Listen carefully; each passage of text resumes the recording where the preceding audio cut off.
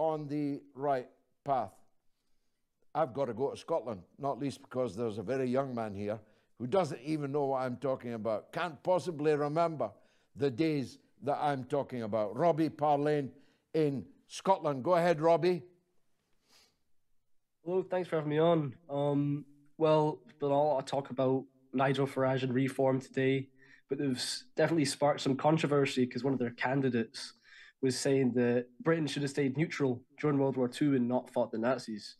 Uh, Nigel Farage was asked about this today and said that it was probably true, so kind of defended him. Now, I know you have a very anti war stance when it comes to maybe Russia, Ukraine, or Israel, Palestine. So, do you agree with that statement?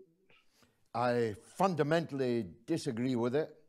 And moreover, I think it is the first big political mistake that Nigel Farage has ever made. And that's a big claim, ever made. He should have said that his candidate was talking out of his backside and, in fact, was no longer his candidate, was sacked.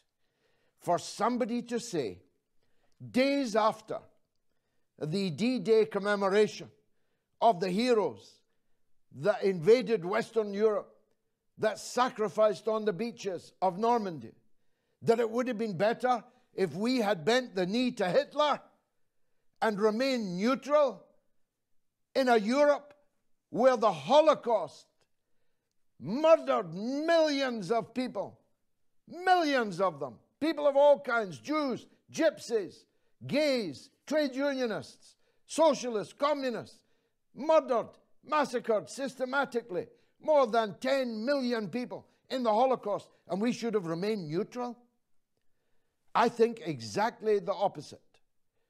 That the hour that we refused to bend the knee to Hitler and make a negotiated peace with Hitler was, as Mr. Churchill said, our finest hour. And that the summer of 1941 when we, in the Battle of Britain, saved these islands from Nazi invasion was our finest summer. If I'd been alive and if I'd been old enough, I would have been the first man at the recruitment office to volunteer to fight fascism in Europe. My maternal grandfather, Thomas O'Reilly, a communist, an Irish Republican, a Roman Catholic, an Irish nationalist, volunteered to join the British Army in the Second World War and fought throughout under Montgomery in the Eighth Army. And when people said to him, Why are you, an Irish Republican, fighting for the British? He said, I'm not fighting for the British. I'm fighting fascism.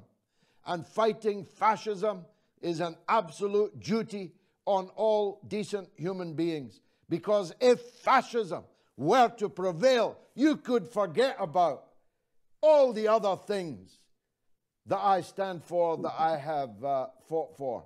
So, Robbie, this is a major blunder by Farage. I'm sure that the Tories will drive a coach and horses through it.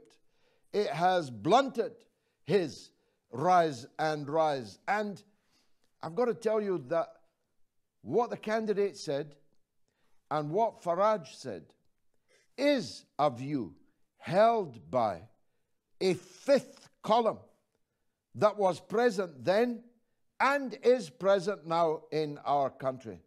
People who, in their hearts, quite liked Adolf Hitler, quite liked fascism, and would quite like to put perhaps a different group of people into the death camps and the concentration camps again.